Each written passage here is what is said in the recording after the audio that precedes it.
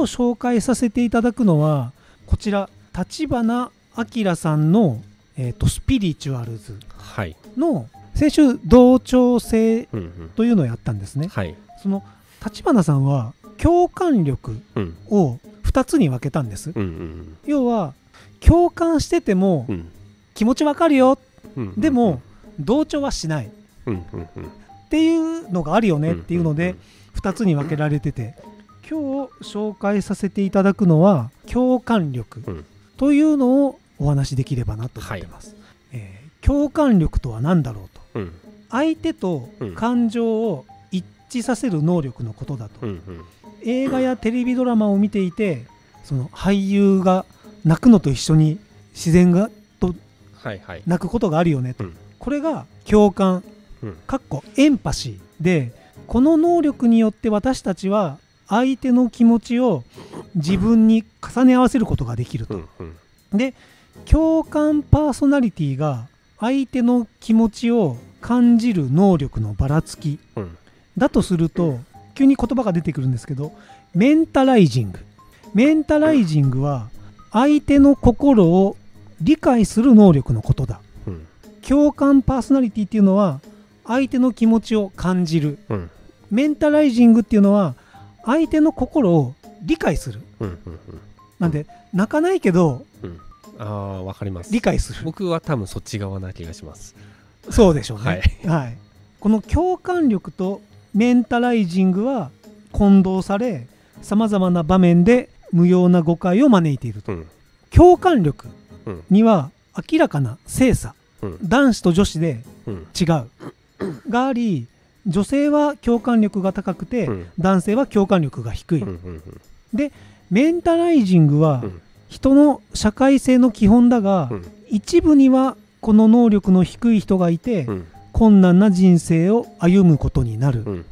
っていう話がこの共感力のところでされるんですね。で共感っていうところで言うと、共感は赤毛猿でまずこの実験されるんですけど、はい、この同調性の時にミルグラムの電極実験、要はこの囚人と看守で分けてっていう話があるんですけど、それと同じようにその人は同調して行動するよっていう話をしたんですけど、同じような実験でこの赤毛猿に A と B を用意します、で A はたくさんの食べ物がある、うん、でも A を引くと強い電極が流れる、うんうんうん、で B はそれが少ない、うん、けど、うん、えーと、電極が流れない、うんうん、っていうのを赤毛猿にやる、で当然強いやつを引くと、この実験では、マジで電気を流すので、うん、わーって猿が反応する、痛いみたいな、っていうのを他の猿は見ている、っていうのをやった時に、15匹の赤毛猿のうち10匹は報酬が半分になっても鎖 B を引くようになったと、さらに残り5匹のうち1匹は5日間もの間、その鎖を引かなくなり、1匹は12日間、もうそれをやろうとしなかった、これは15匹の猿のうち12匹約8割が共感によって行動を変えたと、逆に言うと3匹は共感せずにこの電極が強い方を引き続ける。恐怖者ですね。っていうこの共感パーソナリティにもまあばらつきがある、けど大多数はそっちになんていうの、共感するようになる、でこの共感実験はネズミでも行われて同じような結果になったと、でこの共感っていうのは、社会性の高い動物っていうのは、まあ、高度な脳を持つようになり、この近しいものの苦しみを不快と感じるように進化したんだろうと。で、えーと共感は有性生殖とともに始まった、うん、まあ、生殖ですね、うん、これは共感っていうのは高社会的な感情向かう社会的、うん、高社会的な感情で、そこから信頼や公平など、道徳な感情が生まれた、相手のことを何一つ気にかけてないなら、大切に扱おう、と思う必要はない、まあ、社会性である必要はない、共感力はどのように生物の中枢神経に埋め込まれ進化したんだろうと、でアメリカの心理学者、経済学者のポール・ザックは愛と信頼のホルモン、オキシトシンの影響を研究して、共感や信頼は有性生殖、要は性がある生殖とともに始まったとしていて無性生殖の生き物は単独で分身を増やし自らの遺伝子を伝えていくことができるので、他者と協力する必要がない、なので生存と生殖のための最適戦略は、自分の縄張りを守って、そこに侵入した他者を容赦なく攻撃すること、俺だけでいい、俺だけの遺伝子が残せるから、ってやるが、えーと、その後性別の異なる2つの個体の遺伝子を組み合わせた有性生殖の方が、病原体や寄生虫への抵抗抵抗力がある、なんでこの1個だけだと何かウイルスが入った時に全部死んじゃう、がいろんな生殖とかでいろんなのができてくると、ここが死んでもここが残るみたいな、まあ、だからこのバランスでそういうふうになってるんじゃないですか。生物の。生物。はい。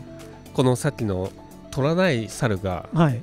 もう必要って話なんですあ取る取ってしまう猿も必要必要なんでしょうね。で取らない猿も必要なんでしょうね、取らない猿も必要ででそのバランスがちょうど生き残っていくので最適な感じで残ってるん興味深い。実に興味深い、うん、はいそういう生存戦略なんでしょうね、うん、主としてのね。こうじゃなくて。はい。それでバランスを神様が取ってるんですかね。わかんないですけど、うん、まあ、そうやって自然に分布するんですかね感じじゃないですか。この環境への変化にも対応できることが、まあ、その有性生殖の方が明らかに、うん、高い、うん、だがここで困難な問題に突き当たったはずだと、うん、この生存のためには他者を攻撃しないといけないけど、生殖のためには他者を受け入れないといけない、っていう難問を解決するために、この有性生殖ではフェロモンによって生殖のサインを出すがこのフェロモンの刺激によって武装を解除するメカニズムが必要になる、うん。うん、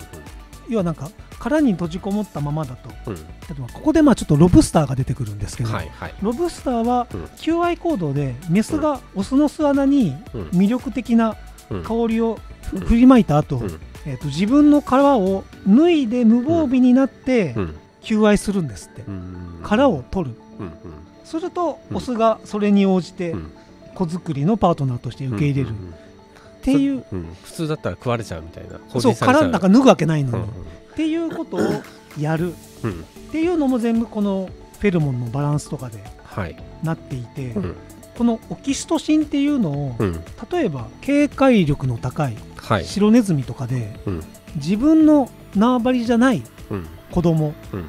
だけど、そのオキシトシンが高まる注射を打つと、そんな行動をしないラットが縄張り以外の子供を受け入れたりっていうようなことをするようになると、性格とかって分けてますけど、性格じゃない？性格って何ですかねそれが性格なんじゃないですか？脳内物質脳内物質。のバランス？バランス、うん、フェロモン、うん、で人は行動も変わるっていう話ですね、うん、でまあ、冒頭で申し上げた共感力は男女の違いがあるよっていう話ですね、うん。うん、で男と女で共感力が違うっていう項があるんですけど要はこの性愛行動と同列に語要は人とね、うん、ラットや猿と同列に語るのはちょっと難しいかもしれないが、この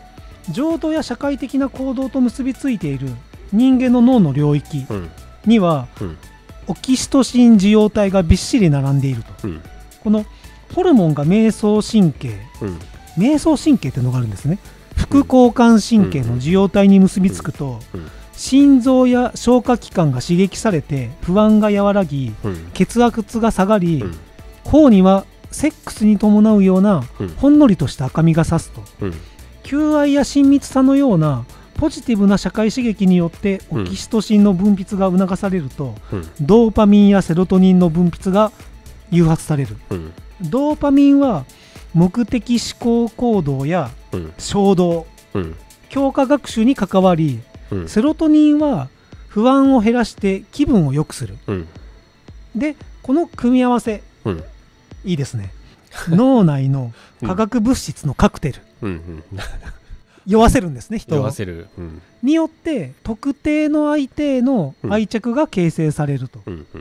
なるほど。共感は今やオキシトシン抜きに論じることができなくなっていると、っていうのでまあ、この男女の共感力が違うっていう実験がされるんですけど、うんうん、まあ、その実験はこの投資の実験をするんですって。投資というと？えー、っとですね。行動経済学でよく使われる手法で、うん、公共財ゲームかっこ信頼ゲームっていうのがあって、うん。うん、プレイヤーは投資家と運用家に分かれ、それぞれ例えば1000円ずつ渡され、はいはいはい、投資家はその1000円の中から任意の金額を運用者に投資することができ、うん、投資運用によって投資額は例えば3倍に増えたり、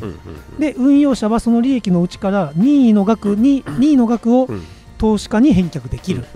ていう実験、で具体的な例でやると、本当は投資家が1000円全額を運用者に投資し、運用者が増えた投資額を折半する場合が、実は一番大きな利益、投資した1000円は3倍の3000円に増え、うん、最初の1000円を加えて運用者の資産は資産は4000円、うん、それを分け合うんだから、うん、2人とも最初の1000円が倍の2000円になる、っていうのを実験があるんですけど、それを男女でやると、男性は運用者が資金の25%しか投資家に返さなかったのに対し、女性の運用者はほぼ折半の42%を返した、っていう実験の結果になったんですって、要は男性は自分の利益を取った。ちょっと自分を残そう自分に残そうとする傾向が強く、女性はより広く、ちゃんと平等にやろうとするっていう差があったと男性と女性で、でこれは男女の共感力の精査には、えとオキシトシンとテストステロンが関係しているらしいと。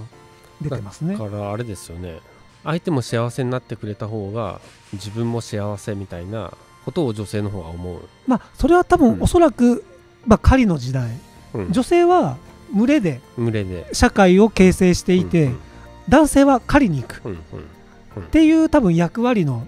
部分が今も多分残ってるんでしょうね、でそういうまあそれがあるからそうなったかもしれないですよね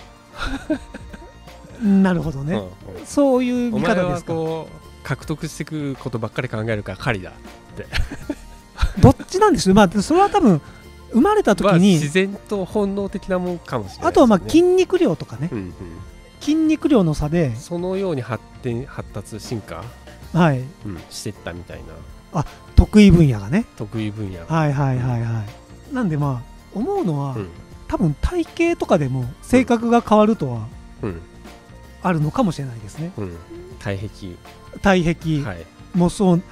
全部バランスなんでしょうね、うん、この辺は。まあ多分バランスなんだと思いますよ。はい、っていうので、うん、その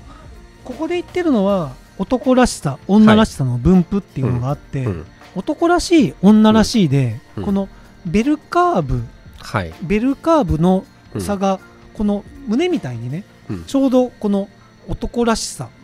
女らしさ。っていうので、ここはやっぱり一致してない。はいはいはいはい。っていうのがあるみたいです、うんうん、ただこの下がったところで、男子と女子がこの一致してるところがあるので、うん、一致してる人もいる。はい。なのでまあここではまず男女では共感力の差がありますよっていうお話、うん、